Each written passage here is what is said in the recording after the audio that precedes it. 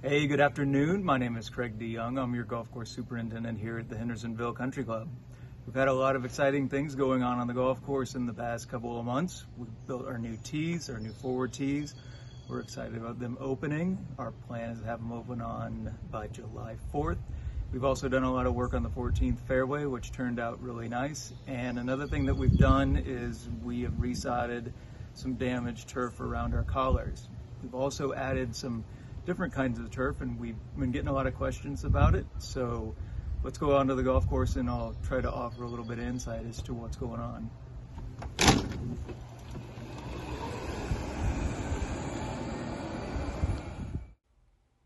We've heard questions and comments regarding the new sod recently installed on the collars of number 2 and number 7 greens. Let's start with a quick backstory on why this was done.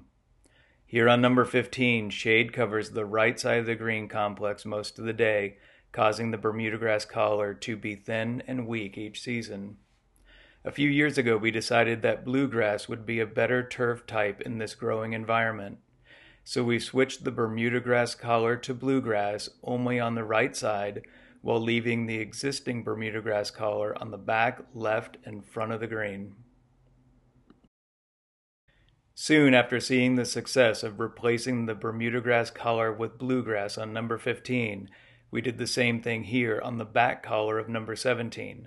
Again, shade was the culprit. The type of bluegrass we decided to use is called low mow bluegrass, not fescue, which has the ability to tolerate lower mowing heights and shade. After two full seasons of growth on number 15 and 17, they have proven to be an agronomic success. This spring, a number of our Bermuda grass collars struggled during their transition from dormancy. So we decided to use this opportunity to replace additional historically weak Bermuda grass collars with bluegrass on holes 2 and 7. On number 7, we replaced the back section of the collar with bluegrass, leaving the remaining collar as Bermuda.